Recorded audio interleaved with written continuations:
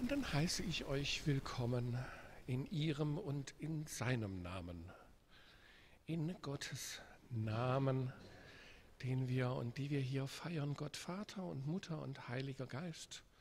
Der weht, wo er will, dieser Heilige Geist und kommt an, nehmt Platz, schnauft durch, seid willkommen in Gottes Namen. Amen. Lasst uns beten. Guter Gott, wir danken dir, dass du uns hier in Sicherheit und Freude zusammengerufen hast. Wir danken dir für diese Gemeinschaft und für die Freiheit, in der wir leben dürfen. Nun nimm uns und schicke uns hinaus in die Welt, damit wir das, was du uns gegeben hast, auch segnend weitergeben dürfen dass wir es anderen, die deinen Segen und deine Liebe brauchen, geben können. Lass uns ein Segen sein für die Welt und für die kommenden Generationen.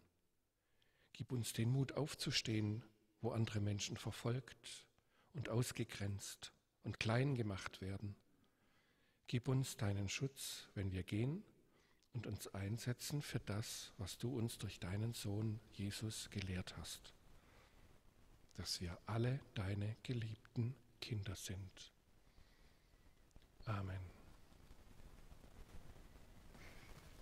Heute findet eine Lesung statt aus 1. Mose 12. Und der Herr sprach zu Abraham, Geh aus deinem Vaterland und von deiner Verwandtschaft und aus deines Vaters Hause in ein Land, das ich dir zeigen will.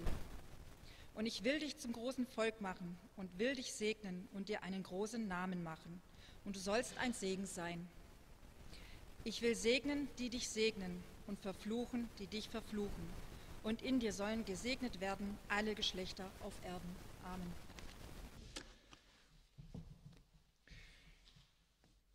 Liebe Gemeinde, liebe Geschwister, ich will dich segnen und du sollst ein Segen sein. Das haben wir gerade gehört aus dem ersten Buch Mose, wenn Gott zum Urvater Abraham sagt, du sollst ein Segen sein und dir, in dir sollen gesegnet sein viele.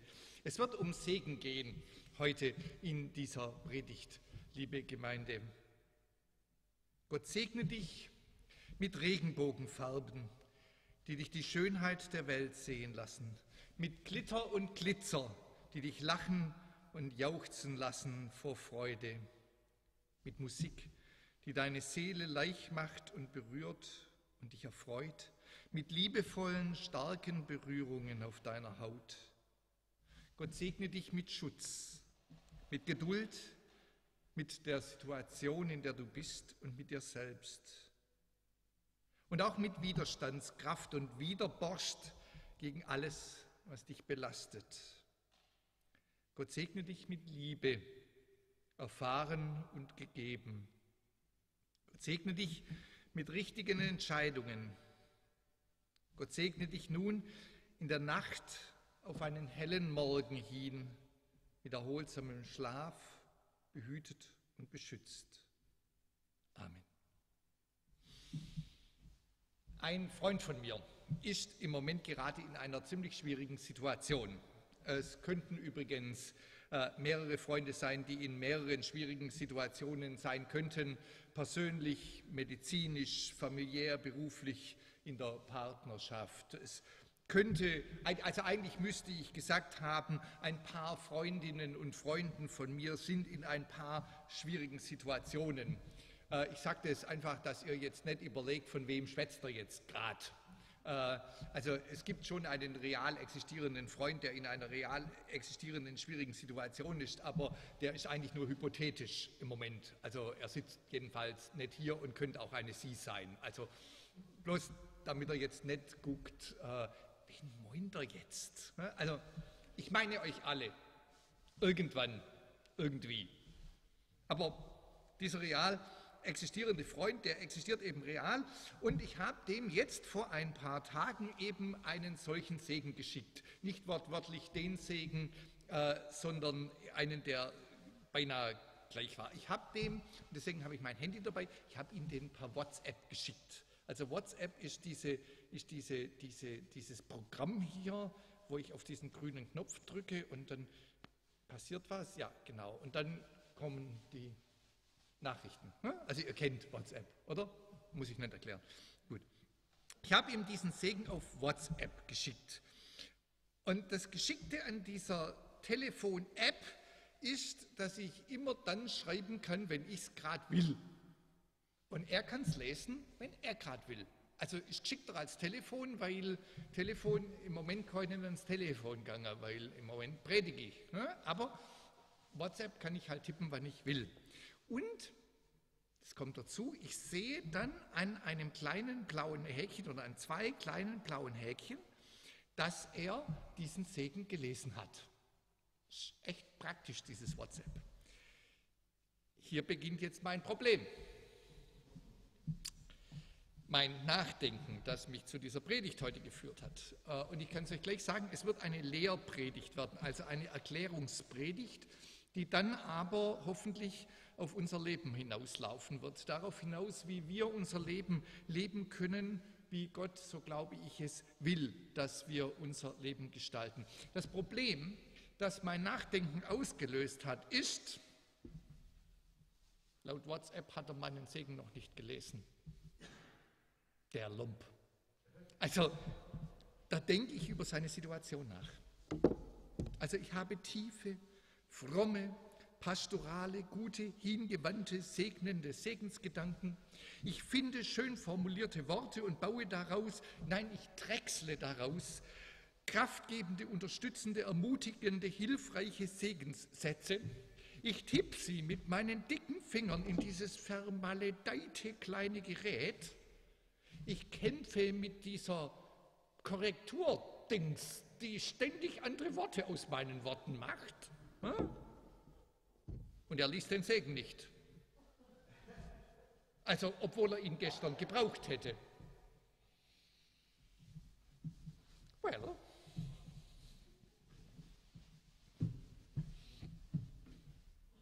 es hat mich jetzt dazu gebracht, einmal nachzudenken, was wir da eigentlich tun, wenn wir segnen, wenn wir Segen sagen.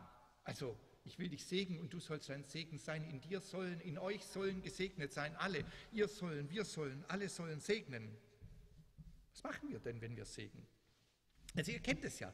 Am Ende des Gottesdienstes steht da eine oder einer da vorne in der Mitte, bereitet die Arme aus und sagt in heilig donnender oder liebevoll hingewandter pastoraler Stimme, je nach Persönlichkeit dessen, der da gerade vorne steht. Aber machen wir es mal in heilig donnernder Schriftstimme. Der Herr gebe euch seinen Frieden. Amen. Man kann das ganz toll singen. Ja? Und in meinem Manuskript, wenn ihr sehen könntet, steht es in großen, dicken, gesperrten Buchstaben. Aber, liebe Gemeinde, geht es denn darum? Geht es denn genau darum, heilige Worte im richtigen heiligen Ton, an der richtigen heiligen Stelle, am richtigen heiligen Ort zu sagen? Also machtvoll dort vorne zu stehen, um vom Altar her Segen zu sagen. Also diejenigen, die mich jetzt schon eine Weile kennen und ihr kennt mich alle, ihr wisst, wenn ich so eine Frage stelle, dann ist die Antwort darauf ein ganz klares Nein. Also auf gar keinen Fall. Aber wenn es nicht das ist, was ist es dann? Was hat das dann mit euch, also vor allem mit denen, die wahrscheinlich nächsten Samstag nicht den Leitungskurs machen werden und nie und nimmer da vorne stehen, stehen wollen, um hier diesen Segen zu deklamieren? Was hat es darüber was hat das alles jetzt also mit euch zu tun? Und zwar jetzt vielleicht morgen, übermorgen, am Mittwoch oder vorgestern. Um darüber nachzudenken, muss ich mit euch jetzt einen Schritt zurückgehen und dann dahin kommen, wo es wichtig ist. Ein Schritt zurück. Es gibt, liebe Gemeinde, verschiedene Arten im Gottesdienst zu sprechen. Und zu reden. Und jede davon hat ihren Platz. Eine davon ist Segen. Es gibt insgesamt mindestens vier von diesen Arten zu reden. Ich habe es jetzt mal auf vier runtergedampft. Es gibt noch andere Vorlesen von Bibelstelle zum Beispiel, aber es gibt vier wichtige. Da sind zum Anfang mal die Ansagen und die Regieanweisungen. Da ist zum zweiten die Predigt, da ist zum dritten das Gebet und am Schluss als viertes kommt dann tatsächlich das Segnen. Ich will mir das anschauen, ganz kurz. Die Ansagen bzw. die Regieanweisungen. Das ist alles von der Begrüßung. Schön, dass ihr da seid. Es ist kalt draußen, fahrt vorsichtig. Äh, ähm, und äh, genau bis zu den Abkündigungen. Also nächste Woche ist um 16 Uhr hier Leitungskurs und ihr müsst nicht leiten. Also ihr habt es gerade, ja, schon gehört, ich muss es jetzt nicht nochmal erzählen. Ja? Oder im Gottesdienst bitte steht auf, wenn ihr es könnt, oder bleibt sitzen oder macht einen Kreis oder was auch immer wir da sagen. Hm? Das sind die Regieanweisungen. Die Predigt, das ist da, wo jemand hier steht und erklärt, auslegt, der euch ruft, der euch ermahnt, der euch aufbaut, der verkündet, der was erzählt, der, wenn es gut ist und wir Theologen unter uns sind, mal wieder einen langweiligen theologischen Vortrag hält und damit es der Petra auch gut tut, mal wieder hebräische Grammatik einbaut. Also, hm, ihr wisst's. Und dann kommt das Gebet. Das Gebet ist das Reden mit Gott, allein oder als Gruppe. Und ich will mir diese drei jetzt noch mal kurz genauer anschauen und zwar im Hinblick darauf, wer eigentlich bei diesem Reden zuhört. Also, wenn einer redet und keiner da ist, der es hört, redet der dann? Also philosophisch? Baum im Wald umfällt und keiner hört und so? Wer hört? Und wie hört wer, wenn er dann da zuhört? Die Ansagen, die Abkündigungen, die Regieanweisungen, die müssen gehört werden, um Sinn zu ergeben. Ja? Also äh, Abkündigung zu machen in der Kirche, bevor die Leute da sind, ergibt keinen Sinn. Also wenn ich mir um fünf hierher stelle und die Abkündigungen mache und ihr seid noch nicht da, ergibt nicht viel Sinn. Ja? Äh, ihr müsst sie schon hören. Und ich muss sie auch sagen, auf eine Art und Weise, dass ihr sie versteht bringt nichts, wenn ich die Abkündigung auf Englisch erzähle, wenn ihr kein Englisch kennt. Das ist wichtig.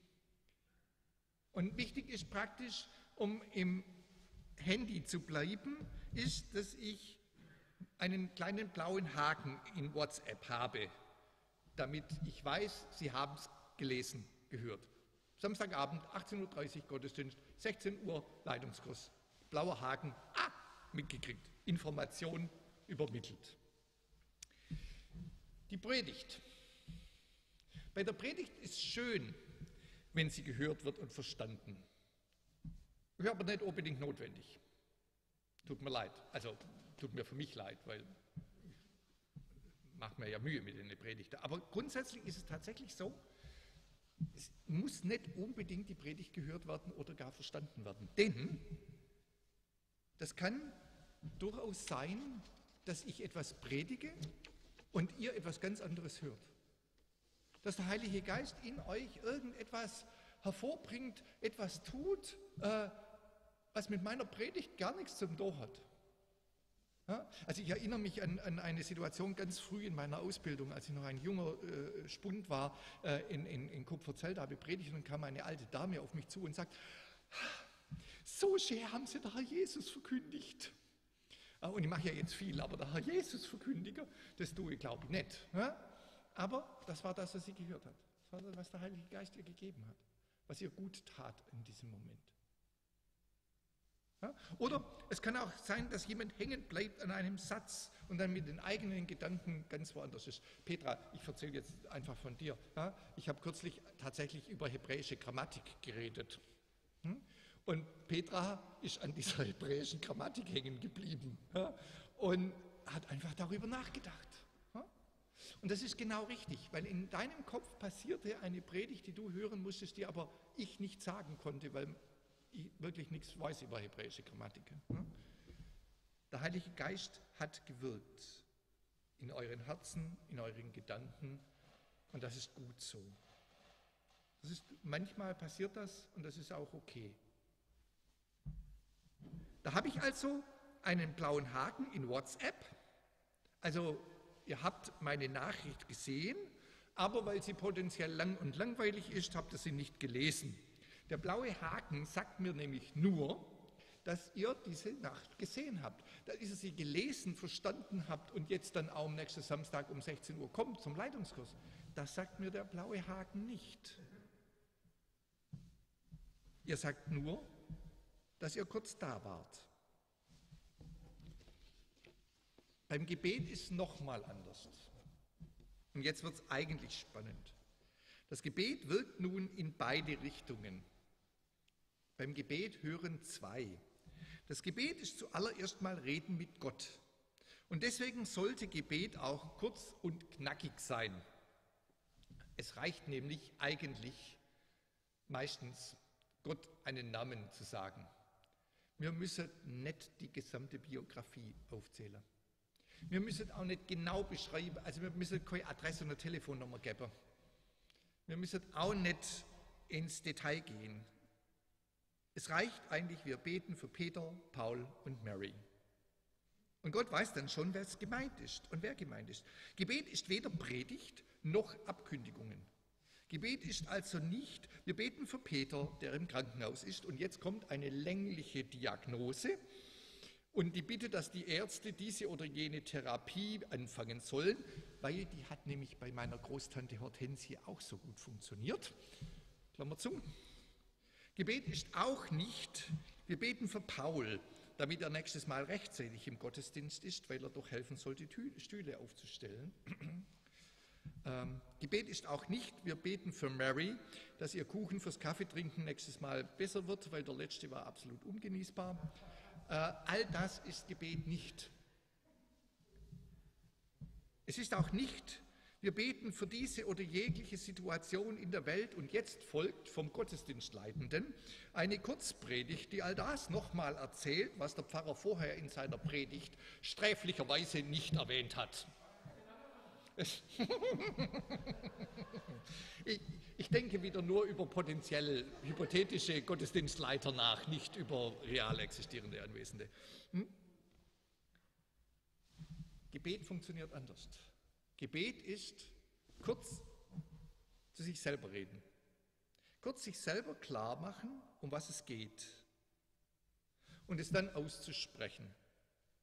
Und zwar und das ist jetzt besonders für das Gebet hier im Gottesdienst, gemeinsam. Wir beten gemeinsam. Wir beten als Gemeinschaft. Und das ist wichtig. Nicht deswegen, weil Gott unsere Gebete dann besser hört, wenn es mehr Leute sagen. Das funktioniert nämlich so nicht. Also diese ganze, lasst uns miteinander beten, also Gott ist nicht schwerhörig. Und wir müssen auch nicht brüllen. Was, was, wäre das denn für ein Gott, liebe Gemeinde, der zählt, wie viel jetzt mitbeten? Und der dann sagt, also, wenn es drei mehr gewesen wären, dann hätte ich das Gebet erfüllt. Aber, also, so, nee. Also, wenn er sich mal durchdenkt, dann merkt er, wie, wie, wie, wie, bekloppt das ist. Ja? Also, wenn es ein bisschen lauter gewesen wäre, weißt du, da geht noch mehr, da geht also wie bekloppt ist das? Also was für ein Gottesbild ist das denn? Ja? Da merkt ihr, wie, wie, wie gaga das ist. Aber Gebet in Gemeinschaft ist doch wichtig. Es ist deswegen wichtig, weil jedes Gebet, das mit wir beten, wir bitten, wir beten, ein Akt der Solidarität ist. Ein Gebet, das mit wir beten beginnt, ist immer ein Gebet weg von meinem eigenen Ich. Ein gemeinsames Gebet, das heißen würde, wir beten für mich. Das ist ein vollständig unlogischer Satz. Stellt euch vor, alle 15 von euch, der gemeinsam sagen, wir beten für mich. Also nicht wir beten für Axel, sondern wir beten für mich. Wortwörtlich. Dann merkt ihr, das funktioniert gar nicht. Wir könnten sagen, wir beten für jede und jeden von uns, die da sind. Das funktioniert.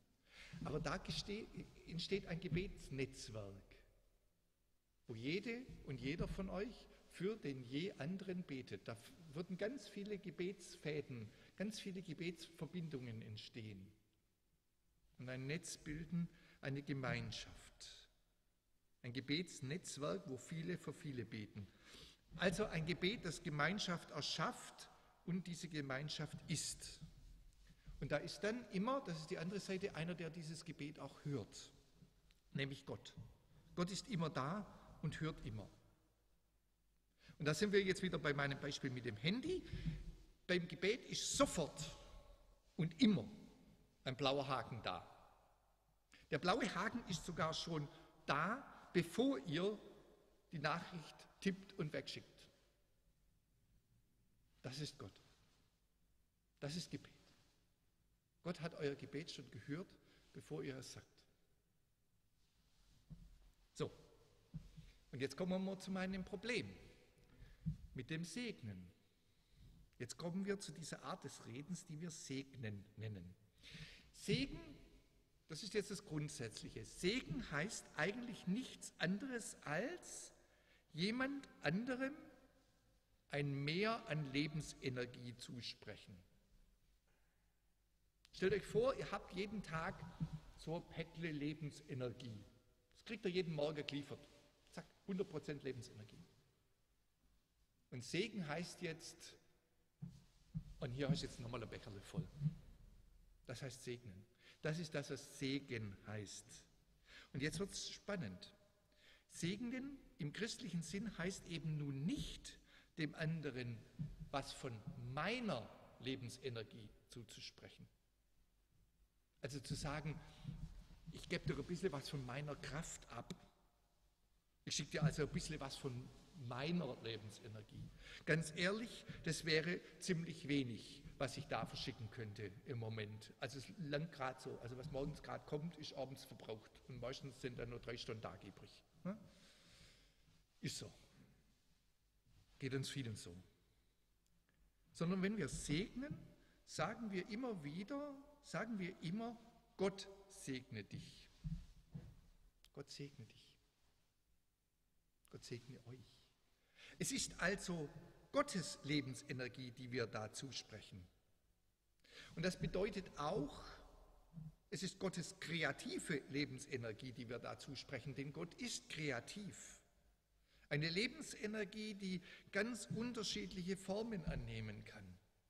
Wenn wir sagen segnen, dann kann das ganz unterschiedliche Sachen sein. Hoffnung für Hoffnungslose, Freude für Traurige, Trost für Trauernde, Kraft für Schwache, Schutz für Gefährdete, ganz individuell. Alles Gott segne dich. Und da kommt es dann eben nicht darauf an, wie viel Hoffnung, Freude, Trost, Kraft und Schutz ich gerade zur Verfügung habe. Ich kann tief traurig in der Trauer sein und trotzdem sagen, Gott segne dich mit Trost. Da habe ich keinen einzigen Trost, den ich sagen kann. Vielleicht nicht einmal Trost, an den ich gerade glauben kann. Aber ich kann trotzdem segnen. Und dann kommt dieser Trost. Denn wenn wir segnen, verfügen wir über Gottes Kraft. Das ist das Spannende. Ich will dich segnen und du sollst ein Segen sein. Wenn wir abkündigen, dann erzählen wir, was wir wissen. Wenn wir predigen, dann erzählen wir, was wir glauben oder was wir verstanden haben. Wenn wir beten, dann erzählen wir, was in uns ist. Aber wenn wir segnen, liebe Gemeinde, dann sagen wir Gottes Kraft auf dich. Das ist als würden wir nicht unsere eigene Bankkarte, unsere eigene EC-Karte rausholen, um von unserem Konto Lebensenergie abzuheben, und es auf euer Konto zu überweisen, sondern wir haben von Gott, jede und jeder von uns und als Gemeinschaft auch, eine EC-Karte Gottes. Eine Bankkarte Gottes, wo wir direkt auf Gottes Segenskonto zugreifen können und Gott schickt dann in der Währung, die der jeweilig andere gerade braucht, Segen. Das ist Segen. Und selbst wenn wir schwach sind, selbst in unserem schwächsten Moment können wir noch segnen. In der Bibel gibt es mehrere Situationen, wo ein Sterbender segnet. In den letzten Momenten seines Lebens noch Segen sagt. Man müsste sagen, hallo, Lebensenergie, das ist dann gerade noch für die nächsten drei Minuten, gell? hast nicht arg viel zum Verteilen. Aber gerade diese Segen, die aus dieser Schwäche herauskommen, sind oft in der biblischen Geschichte die wertvollsten. Selbst wenn wir schwach sind, selbst in unseren schwächsten Momenten können wir noch Segen. Und das heißt wiederum, wenn dann nachher vorne einer steht und so anscheinend mächtig Segen zuspricht, dann ist das eigentlich, nein, dann muss das eigentlich sein, der demütigste Moment im ganzen Gottesdienst. Wo ich eigentlich dastehen muss und sagen muss, ich habe jetzt gar nichts mehr. Ich habe euch abgekündigt, ich habe euch gepredigt, ich habe mit euch gebetet und jetzt ist Babela, ich habe nichts mehr. Ich habe nichts mehr. Und jetzt gebe ich euch alles, was ihr braucht. Ich habe nichts, aber ich gebe euch alles, was ihr braucht, denn durch Gott kommt, was ich euch sage, Segen für euch, Lebensenergie für euch. Wie auch immer sich das in eurem Leben dann zeigen wird. Und weil es eben nicht mehr um Wissen geht zum Abkündigen oder Predigtfähigkeit zum Predigen oder Glaubenskraft zum Beten, weil ich eigentlich ganz und gar unwichtig bin im Segen, kann jede und jeder von uns segnen. Ihr müsst keinen Segenskurs machen. Es gibt einen Gottesdienstleitungskurs und einen Abendmahlskurs, aber es gibt keinen Segenskurs. Es gibt einen Heilungsgebetskurs der sich aber hauptsächlich damit beschäftigt, wie ihr auf euch selber aufpasst, wenn ihr für andere betet. Aber segnen, da braucht er kein Diplom. Segnen braucht er keine besondere Befähigung. Segen braucht er kein Amt. Es gibt keinen Segner in der Kirche. Es geht darum, dass jede und jeder von uns Segen sagen kann, segnen kann. Denn Segen ist nicht ein magischer Akt, den man lernen muss. Segen heißt eben nicht tiefe, fromme, pastorale, gute, hingewandte, segnende Segensgedanken zu reden und schön formulierte Worte zu finden und daraus kraftgebende, unterstützende, ermutigende, hilfreiche Segenssätze zu bauen. Schöner Satz, gell? Vergiss den. Das ist reiner Kokolores. Das ist reine Angabe von mir, dass ich solche tolle Sätze sagen kann und sie sagen kann, ohne dass ich mich verhasple. Ich habe ihn geübt übrigens. Nein, nein. Bauen zu Sätze Segens, hilfreiche Ermutigung. Segen heißt, liebe Gemeinde, Segen heißt genau das Gegenteil. Segen heißt sich ultimativ hilflos, machtlos vor die Menschen zu stellen, im wahrsten Sinne demütig, ohne ich und alles, was ich kann und was ich bin, ganz leer innerlich da zu sein dann das Machtvollste und Stärkste zu tun, was wir tun dürfen, Gottes Segen sagen. Im Wissen, im Glauben, dass dieses Segen da ist. Habe das gerade gehört, was ich gesagt habe. Im Wissen und im Glauben, dass dieses Segen da ist. Nicht im darauf hoffen, nicht davon ausgehen, sondern im Wissen, dass dieser Segen da ist. In Gottes Segen sollen wir sagen. Das wiederum bedeutet, dass es gar nicht um Wort geht oder etwa um liturgische Worte, also da vorne Worte, die im Gottesdienst gesagt werden, sondern es geht, und jetzt geht es um euch, um eine Lebenseinstellung, eine Lebenshaltung, eine innere Haltung, die wir als Christinnen und Christen haben sollen, dass wir Segnende sind, dass wir Segnende sein sollen, dass wir immer wieder in unserem Leben Segen sagen sollen. Ein Segen, der sich dann von Gott her im Leben eines anderen bewahrheitet, der sich manifestiert, Fleisch wird, inkarniert, Körper annimmt im Leben des Gesegneten. Und das womöglich auf eine Art und Weise, die gar nicht in meinem Kopf drin war. Das ist dann das Demütige. Hm? Segen ist nett, ich sage dir jetzt, wie es geht, sondern Segen sagt, hier ist Kraft Gottes. Find raus, wie es geht. Das ist etwas ganz anderes. Und da passiert dann auch was in dem, in der, die wir segnen. Denn das ist Gottes Versprechen. Ich bin bei euch alle Tage bis an der Weltende. Jedes Mal, wenn einer sagt, ich segne dich, bin ich bei ihr, bei ihm, sagt Gott. Jetzt also nochmal zurück zu meinem Freund am Anfang. Gucken wir mal. Es ist immer noch kein blaues Häkchen da. Und mein Ich, der Bastler schöner Sätze, ist echt beleidigt. Habe ich mir solche Mühe gegeben. Ist mein Segen angekommen? Absolut. 100 Prozent. Bin 100 Prozent davon überzeugt, dass der Segen da ist, da war. Ganz egal, ob WhatsApp jetzt meint, da ein blauer Haken zu setzen oder nicht. Denn Gott hat ihn geschickt. Gott hat dafür gesorgt, dass er ankommt. Gott macht, was da passiert. Macht Gott, was ich will? Eher nicht. Also ich gehe davon aus nicht. Weil Gott hat den Segen geschickt, den der Freund braucht. Auch wenn ich vielleicht nie herausfinde, was. Und ganz ehrlich, das ist auch gut so, weil wollt ihr wirklich, dass ich über das Leben meines Freundes Macht habe? Keine gute Idee. Hm? Bin ich viel zu ungeduldig dafür und zu boshaft. Gott soll diese Macht haben. Und diese Macht heißt Liebe. Rainer, du hast kürzlich mal gespielt, ich bete an die Macht der Liebe. Das ist, was Segen heißt. Das ist, was Segen heißt. Ich habe dann auf WhatsApp bloß ein paar nette Worte drum gebaut. Leben, liebe Gemeinde, heißt also, segnen heißt also, liebe Gemeinde, lebt diesen Segen. Lebt diesen Segen als Segnende. Es geht nicht darum, Segenswort zu finden, sondern es geht darum, Segensleben zu leben.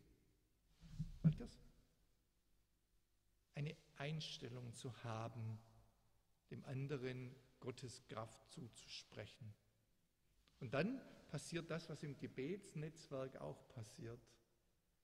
Segen.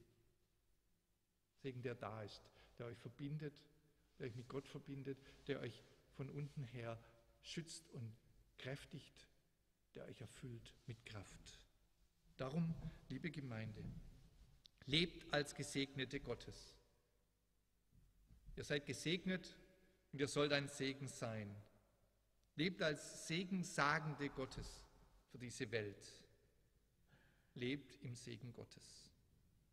Amen.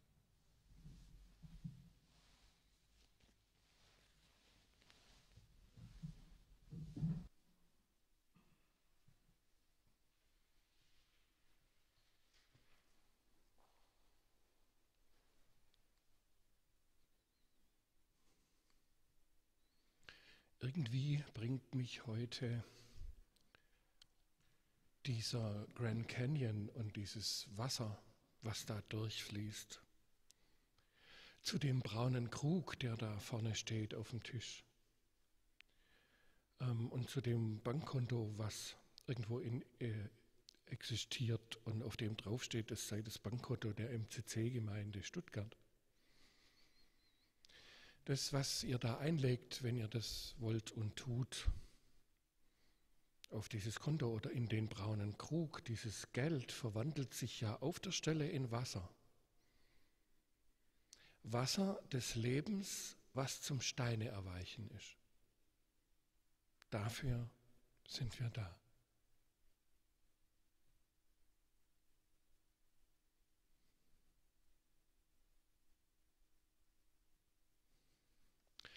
Lieber Gott, leg du deinen Segen auf diese Gaben von Geld, das zu Wasser wird.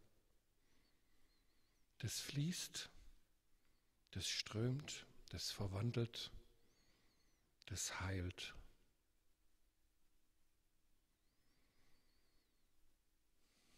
Und wir danken dir für all das Gute, was uns widerfahren ist, vielleicht in dieser Woche.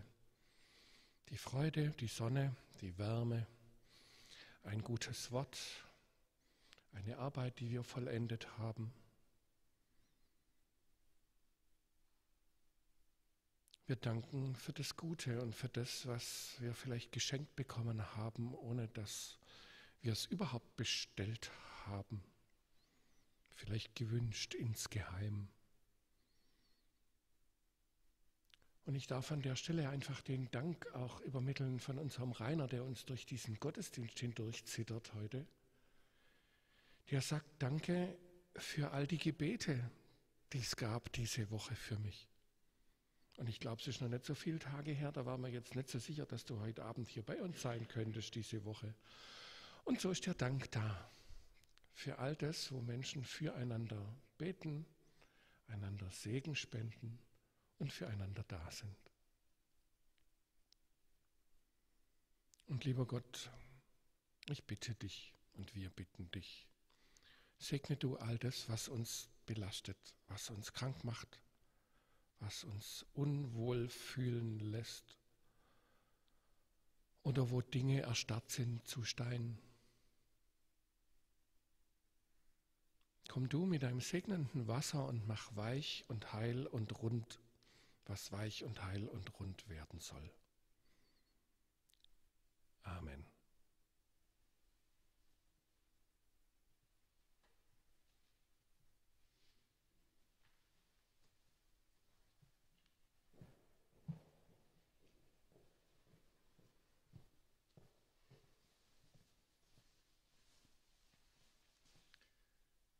Und so wollen wir uns jetzt einladen lassen, diesen Segen Gottes, diese Gegenwart Gottes ganz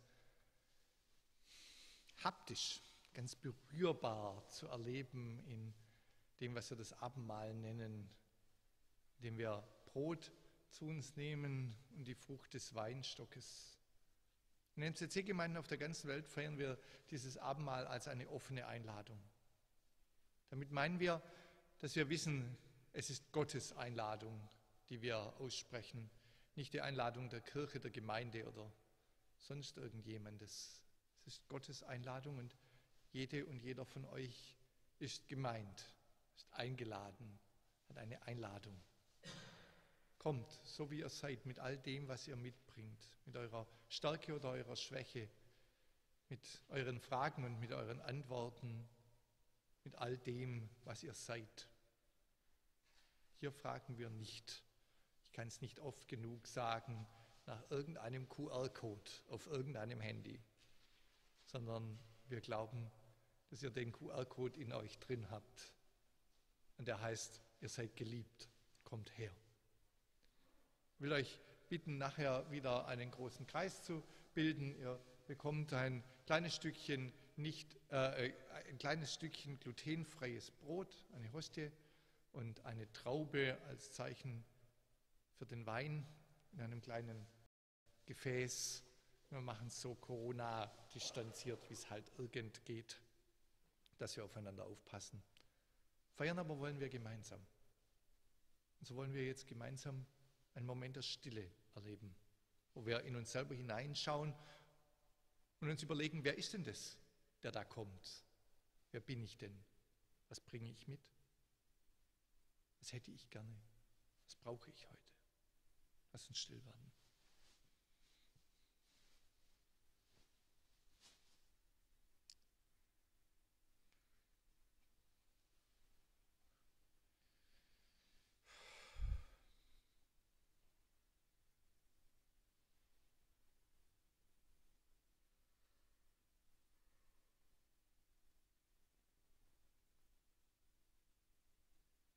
Und so erinnern wir uns einander und der ganzen Welt.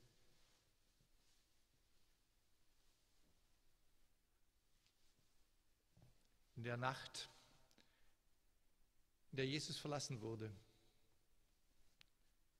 in der sie in der Macht der Welt ausgeliefert hatten, da rief er sie zusammen,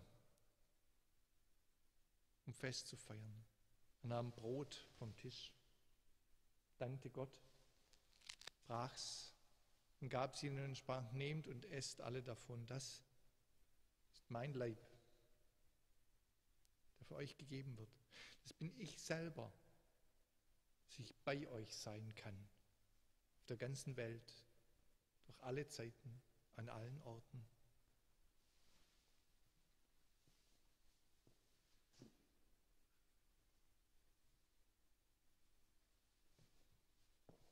Desgleichen nahm einen Kelch, damals gefüllt mit Wein, mit der Frucht des Weinstockes. Und dankte wiederum, gab ihnen den und sprach, nehmt und trinkt alle daraus. Das ist mein Blut, das für euch, für viele vergossen wird, zur Vergebung der Sünden. Nehmt davon.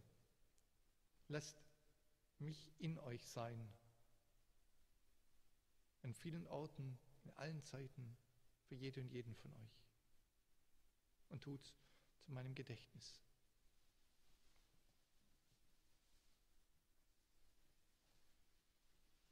So bitten wir dich, guter Gott, sei du jetzt hier in unserer Mitte, wie du es versprochen hast, wo zwei oder drei versammelt sind, da bin ich mitten unter euch. Sei du hier in kreativem Segen jenseits aller Worte, größer als sogar unser Glaube, unser Hoffen, unser Wünschen.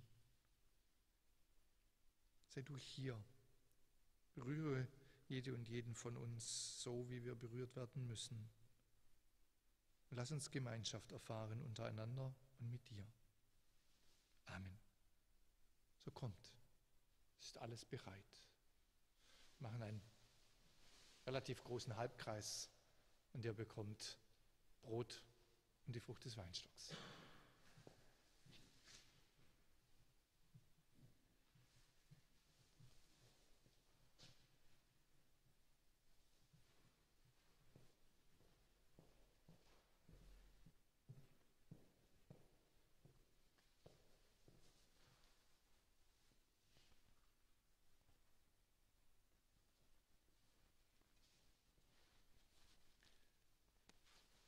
So sei dir Dank, guter Gott, für deine Fülle.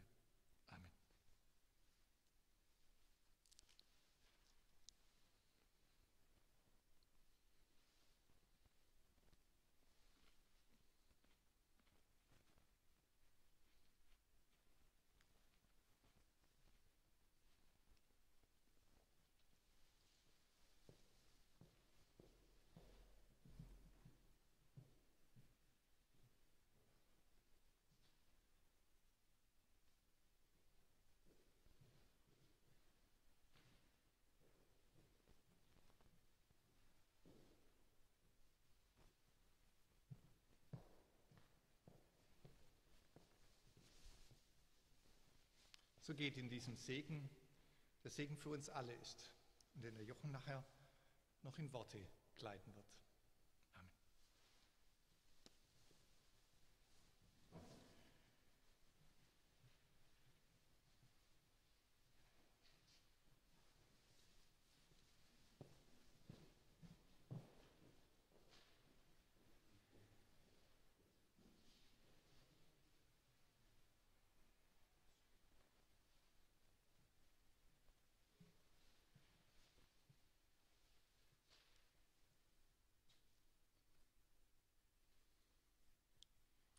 So lasst uns uns unter den Segen Gottes stellen.